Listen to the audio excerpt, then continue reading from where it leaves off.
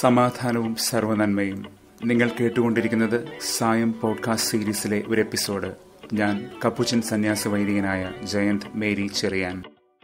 ഇന്ന് പരിശുദ്ധ കന്യകാമറിയത്തിന്റെ അമലോത്ഭവ തിരുനാൾ immaculate conception. പരിശുദ്ധ മറിയം ജന്മപാപമുക്തയായിരുന്നു എന്ന ദൈവിക വിസ്മയത്തിന്റെ ആഖ്യാനവും ആഘോഷവുമാണിത്. ഈ സത്യം ഉദ്ഘോഷിച്ചുകൊണ്ട് പഠിപ്പിച്ചുകൊണ്ട് ഒമ്പതാം പിയൂസ് പാപ്പ പുറപ്പെടുവിച്ച അവർണനീയനായ ദൈവം എന്ന തിരുവഴുത്തിൽ ഇന്നെഫാബിലിസ് ദേവൂസ് പറയുന്നുണ്ട് ഈ മഹത്തരമായ വിസ്മയത്തെ യുഗങ്ങളോളം ധ്യാനിച്ചു വന്നതിൽ പിന്നെ സഭയുടെ ചുണ്ടിൽ മഹത്തരമായ ഒരു ഭാഷണം വിരിഞ്ഞുവെന്ന് a marvellous style of speech പരിശുദ്ധ കന്യക അമലോത്ഭവയും ശുദ്ധപൂർണയുമാണ് എന്ന് ഉദ്ഘോഷിക്കുമ്പോൾ ഇന്നലെ നാം ശ്രദ്ധിച്ചതുപോലെ ഇത് ദൈവിക ഭാഷണം ലോട്ട്ലി എലക്വൻസിന്റെ ഒരു പ്രതിധ്വനി തന്നെയാണ്.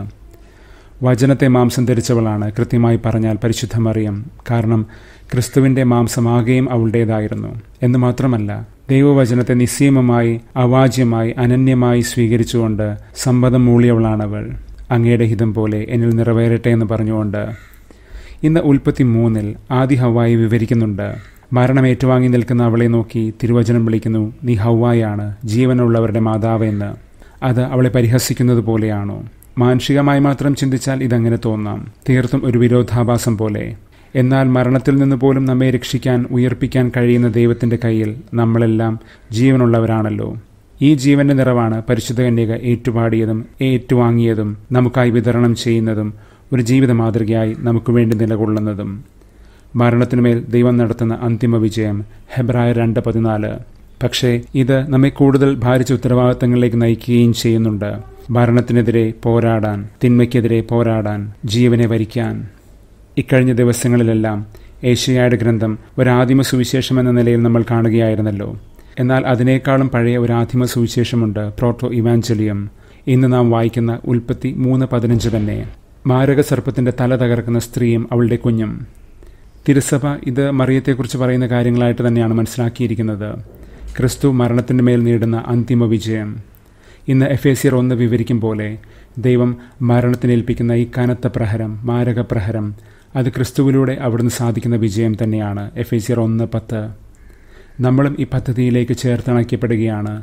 നമ്മളും ദൈവത്തിന്റെ സഹകാരികളും പങ്കാളികളുമായി മാറുന്നു. നമ്മുടെ രക്ഷയ്ക്കും വീണ്ടെടുപ്പിനും ശുദ്ധീകരണത്തിനും വേണ്ടിയാണ് ദൈവം ഈ പ്രയത്നങ്ങളൊക്കെയും കാഴ്ചവെക്കുന്നതും. റോമർ പതിനാറ് പതിനേഴ് മുതൽ ഇരുപത് വരെ നമ്മളോട് പറയുന്നുണ്ട് ഈ സർപ്പത്തിന്റെ തല തകർക്കുന്ന ദൈവത്തിന്റെ വിജയയത്നത്തിൽ നമ്മളും പങ്കാളികളാകണമെന്ന്. നമ്മൾ ദൈവത്തിന്റെ ഈ വിജയത്തിന്റെ സഹകാരികൾ കൂടിയാണ് ഫലമനുഭവിക്കുന്നവർ മാത്രമല്ല നമ്മൾ സാത്താന്റെ തല തകർക്കുന്നവരാണ് എന്ന്. വിഭാഗീയതയുടെയും മതമാത്സര്യങ്ങളുടെയും സ്നേഹനിരാസത്തിന്റെയും സഭാവേദികകളെ തിരുത്തിക്കൊണ്ടാണ് ശ്രീഹ ഇത് കുറിച്ചതെന്ന് ഓർക്കണം. ഇതെല്ലാം സഭയിലുയരുന്ന സാത്താന്റെ തലവെട്ടങ്ങളാണെന്ന് മറക്കരുത്.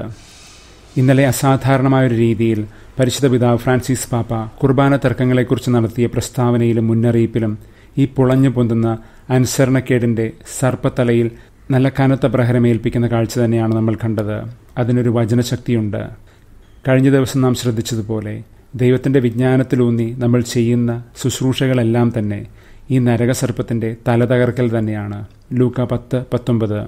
ഇതാണ് ക്രിസ്തീയ സമാധാനം. ഈ വഴിയിൽ നമ്മളെല്ലാം തന്നെ ക്രിസ്തുവിനെ പോലെ ഈ നരകസർപ്പത്തിന്റെ പ്രതിരോധങ്ങൾക്കും കടന്നാക്രമണങ്ങൾക്കും ഇരയാകും. എന്നാൽ ക്രിസ്തു എല്ലാത്തിനെയും ഒടുക്കം പാദത്തിന് കീഴിലാക്കുകയും ചെയ്യും. സങ്കീർത്തനം നൂറ്റിപ്പത്ത് ഒന്ന്.